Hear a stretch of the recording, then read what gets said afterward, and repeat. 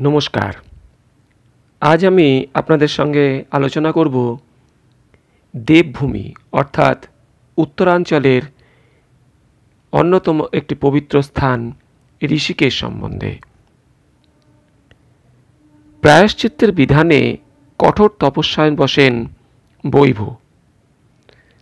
আর তপস্যায় তুষ্ট হয়ে ঋষিকেশ, অর্থাৎ বিষ্ণুর দর্শন দান মন্ত্রদুষ্ট মুনি, অর্থাৎ ঋষি থেকে সেকালের আম্রকুঞ্জের নাম হয় ঋষিকেশ। তবে মায়াপুরীয় নাম ছিল আরও অতীতে ঋষিকেশের। স্বর্গলোকের তরুণদারও এই ঋষিকেশ, যার উচ্চতা তিনশো ছাপ্পান্ন মিটার। হরিদ্বার মতো কিন্তু এখানে অত ভিড়ভাড়ের ব্যাপার নেই। শান্ত, স্নিগ্ধ, সুমধুর এখানকার আবহাওয়া। তবে শহরের প্রসার দিন দিন আজ বৃদ্ধি পাচ্ছে ন্যাশনাল হাইওয়ের আশপাশ অঞ্চল জুড়ে। প্রচুর বাড়িঘর, হোটেল, রিসোর্ট, এগুলো কিন্তু আজ এখানে যথেষ্ট পরিমাণে বেড়ে গেছে। আর ঋষিকেশ আর হরিদ্বারের মাঝখানে রয়েছে রাজাজি ন্যাশনাল পার্ক। এটিও কিন্তু এই ট্যুরের আপনাদের একটি দ্রষ্টব্য স্থান ভীষণ সুন্দর কিন্তু এই রাজাজি ন্যাশনাল পার্ক। ঋষিকেশ শহরের মাঝ দিয়ে বয়ে চলেছে স্বচ্ছ সলীলা স্বর্গের নদী গঙ্গা। পাহাড় ছেড়ে মর্তধামে এইখান দিয়ে কিন্তু দারুণ সুন্দর লাগে গঙ্গাকে। রাবণবধের প্রায়শ্চিত্ত করতে শ্রীরাম লক্ষণ সহ কিন্তু আসেন ঋষিকেশে। স্মারকরূপে রাম মন্দিরও হয়েছে এখানে। এমনকি মহামতি বিদুরও কলের ত্যাগ করে কলেবর ত্যাগ করে এই ঋষিকেশেই করেছিলেন। স্বর্গলোকের টার্মিনালও কিন্তু এই ঋষিকেশ। এছাড়াও বহু যাত্রী ঋষিকেশের উপর দিয়ে প্রতি বছর তীর্থযাত্রা করতে যান এই উত্তরাঞ্চলের বিভিন্ন জায়গাতে, তাদের মধ্যে উল্লেখযোগ্য কেদারনাথ, বদ্রীনাথ, হেমকুণ্ড, গঙ্গোত্রী, গোমুখ, যমুনোত্রী, এই ধরনের আরও আরও অনেক জায়গা। যুগের পর যুগ, বছরের পর বছর ধরে এই রুট ধরেই কিন্তু চলেছে সাধু সন্তের দল, সেই সঙ্গে ট্যুরিস্ট হিমালয়ের অপূর্ব সৌন্দর্য। এর আকর্ষণে কিন্তু আজ সারা ভারতবর্ষ এই অঞ্চল দিয়ে কিন্তু যাতায়াত করছেন কখনো সে আকর্ষণ হয়েছে পৌরাণিক, কখনো বা নৈসর্গিক শোভার জন্য। যাত্রীদল ভারতের বিভিন্ন প্রান্ত থেকেই শুধু নয়, বিদেশিরাও কিন্তু আজ এই অঞ্চলে প্রচুর পরিমাণে যাতায়াত করছেন। এছাড়াও রয়েছে yoga capital of the world, এই ঋষিকেশে। আপনারা কলকাতা থেকে ঋষিকেশ পৌঁছাবেন, সবচাইতে ভালো হয় দুপুরবেলা সপ্তাহে দুদিন উপাসনা এবং পাঁচ দিন কুম্ভ এক্সপ্রেস এই ট্রেনগুলিতে। সরাসরি হরিদ্বার পৌঁছে যান, পরদিন বিকেল চারটে, সাড়ে চারটের মধ্যে। এবং হরিদ্বার থেকে যদি কোনো কানেকটিভ ট্রেন থাকে, তাহলে আপনারা ঋষিকেশ পৌঁছে যাবেন আর এক ঘণ্টার মধ্যে। যদি না পান, তাহলে বাসে, অটোতে বা ট্রেকারেও কিন্তু পৌঁছে যেতে পারবেন ঋষিকেশে এক ঘণ্টার মধ্যে। আর যদি দুন এক্সপ্রেসে যান, রাত্রিবেলায় ছেড়ে দুটো নাইট জার্নি করে তিন নম্বর দিন সকালবেলায় পাঁচটার মধ্যে পৌঁছে যাবেন। রায়বলা বলে একটি জায়গা আছে, হরিদ্বারের ঠিক পরে স্টেশন আর ওখান থেকে শেয়ার অটো টেকারে পৌঁছে যাবেন আধা ঘণ্টার মধ্যে কিন্তু ঋষিকেশ। ঋষিকেশের স্টেশনের আশপাশ জুড়ে প্রচুর হোটেল আছে।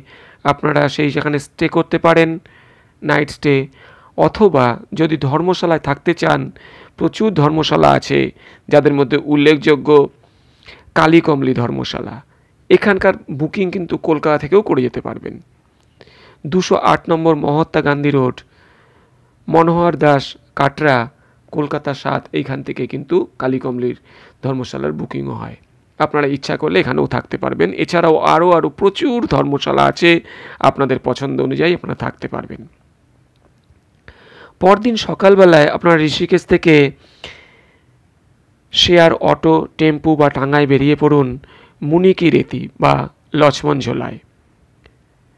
স্বর্গের নদী গঙ্গা মর্তা নামছেন এই লক্ষ্মণ ঝোলা দিয়ে লক্ষ্মণ ঝোলায় রাধাকৃষ্ণ আর ঝোলার মুখে ভারতের একমাত্র লক্ষণ মন্দির, এটিও কিন্তু এখানে দেখতে পাবেন।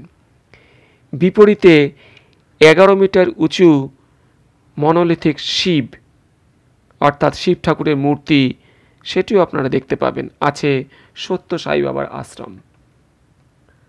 আর ধ্রুবঘাটে ঝোলাপুলে গঙ্গা পেরোতেই পাবেন গঙ্গার পূব যোগ ট্রেনিং সেন্টার তথা চোদ্দতলার কৈলাসানন্দ মিশন আশ্রম। পাশেই পাবেন কালো কম্বলওয়ালা অর্থাৎ কালী কমলির সমাধি মন্দির, রামেশ্বর মন্দির, লক্ষ্মীনারায়ণ মন্দির, গীতা ভবন পর পর এগুলো কিন্তু রয়েছে। আপনারা ইচ্ছা করলে হেঁটেও এগুলো ঘুরতে পারবেন।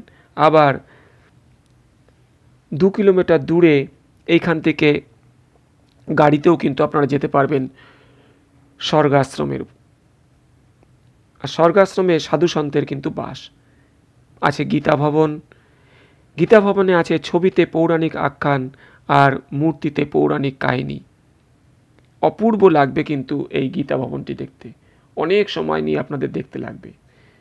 ভীষণ সুন্দর এই গীতা ভবন আবার যারা এখান থেকে আরও একটু বেশি কিছু যেতে চান, তাদের জন্য বলব এই স্বর্গাশ্রম থেকে বাইশ কিলোমিটার দূরে মধুমতি ও পঙ্কজা নদীর প্রবাহে বিষ্ণুকূট, ব্রহ্মাকূট ও মণিকূট, তিন উপত্যকা জুড়ে কিন্তু নীলকণ্ঠ পাহাড়। ভীষণ সুন্দর এই নীলকণ্ঠ পাহাড়। ইচ্ছা করলে আপনারা এটি হেঁটেও যেতে পারেন ঘণ্টা চারেক সময় লাগবে, প্রায় বারো কিলোমিটার রাস্তা। আবার গাড়িও পাওয়া যায়, গাড়িতেও কিন্তু আপনারা যেতে পারবেন এখানে। নশো ছাব্বিশ মিটার উঁচুতে নীলকণ্ঠ মহাদেবের দর্শন পাবেন এখানে। সাগর মন্থনকালে এখানেই কিন্তু গরল পান করেছিলেন শিব ঠাকুর, তাই নীলকণ্ঠ। সেই থেকে পাহাড়ের নামও হয় কিন্তু লীনকণ্ঠ পাহাড়। জাগ্রত দেবতা। একটু আগেই বললাম, গাড়িতে যেতে পারেন, গাড়ি ভাড়া করেও নিতে পারেন, আবার শেয়ার গাড়িতেও কিন্তু যাওয়া যায় এখানে। উনিশশো আটষট্টিতে প্রতিষ্ঠিত শঙ্করাচার্য নগর, অর্থাৎ বিতর্কিত মহর্ষি মহেশ যোগীর আশ্রম, যোগ শিক্ষার আশ্রম বেদ নিকেতন সাইবাবার আশ্রম তপবন, ভারত মন্দির, শিবানন্দ আশ্রম পর পর কিন্তু এগুলি দেখে নিতে পারবেন। কিংবদন্তি লক্ষণও গঙ্গা পেরিয়েছিলেন এইখানে আসার জন্যে, তখন দড়ি অর্থাৎ রজ্জু দিয়ে ঝোলা পার করে লক্ষ্মণ ঝোলায়। যার জন্যে এই যে বৃষ্টি হয়েছে পরবর্তীকালে, এটির নাম কিন্তু লক্ষ্মণ ঝোলাই।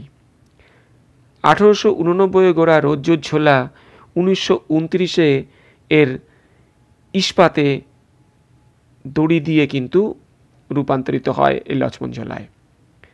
পরিবর্তন হয় সেই থেকে, আজও আমরা দেখে আসছি উনিশশো উনত্রিশ সাল থেকে। নতুন করে ঝোলাপুল হয়েছে রামঝোলা অর্থাৎ শিবানন্দ ঝোলা, গীতা ভবনের সামনে থেকে স্বর্গাশ্রমের। দুটি ব্রিজই কিন্তু এইভাবে দড়ি দিয়ে ঝোলানো, অর্থাৎ তারের দড়ি। আপনাদের উচিত হবে লক্ষ্মণ ঝোলায় গাড়িতে নেমে দু কিলোমিটার পূব পার দিয়ে ঘুরে আবার গাড়িতে গীতা ভবনের কাছে পৌঁছে নৌকা, অর্থাৎ ভুটভুটিতে গঙ্গা পেরিয়ে অথবা রামঝোলা ব্রিজ পেরিয়ে ঋষিকেশের উদ্দেশ্যে ফেরা। ভীষণ সুন্দর লাগবে কিন্তু আপনাদের এই ঋষিকেশ ভ্রমণটি। ধ্যানমূলক শিক্ষায় যারা আগ্রহী, তাদের উচিত স্বামী শিবানন্দের ডিভাইন সোসাইটি আশ্রম বা বেদ নিকেতনে যোগা সোসাইটি সেন্টার। এই ধরনের আরও আরও প্রচুর যোগা সেন্টার আছে। সমস্ত এই ঋষিকেশ অঞ্চল জুড়ে আপনারা এখানেও কিন্তু যোগার সমস্ত কোর্স করে নিতে পারবেন। তবে একটা জিনিস আপনাদের একটু সাবধান করে দিই। এখানে কিন্তু প্রচুর হনুমানের উপদ্রব, কাজেই খুব সাবধানে আপনারা চলাফেরা করবেন। খাওয়া দাওয়া রামঝোলার ঠিক পাশেই গীতা ভবন যে রাস্তায় যাচ্ছেন, সে সামনেই পড়বে চটিওয়ালা ধর্ম। এই চটিওয়ালায় ভীষণ সুন্দর খাওয়ার ব্যবস্থা। আপনারা এখানেও খেতে পারবেন, আবার ইচ্ছা করলে ঋষিকেশে এসেও কিন্তু খেতে পারবেন। বা লক্ষ্মণ ঝোলার উল্টো দিকেও প্রচুর রেস্টুরেন্ট আছে, সেখানেও কিন্তু খাওয়া দাওয়ার ব্যবস্থা পাবেন। নর্থ ইন্ডিয়ান ফুড, খুব সুন্দর এখানকার খাওয়া দাওয়া কলকাতা থেকে কলকাতা এই ঋষিকেশ ট্যুরটি আপনারা যদি দুদিন ঋষিকেশে থাকেন, কলকাতা থেকে কলকাতা পাঁচ দিনে বা দুন এক্সপ্রেসে গেলে ছ দিনে কিন্তু আপনাদের ট্রিপটি সম্পন্ন হবে। খরচ কম বেশি সাড়ে চার থেকে পাঁচ হাজার টাকার মতো। আমার এই ভিডিওটি দেখে আপনাদের ভালো লাগলে অবশ্যই সাবস্ক্রাইব করবেন। সঙ্গে সঙ্গে প্রচুর শেয়ার আর লাইক বটনটি অবশ্যই বাজিয়ে দেবেন। আজ এখানেই রাখছি। আগামী দিন আবার আপনাদের সঙ্গে আমার কথা হবে। বাই।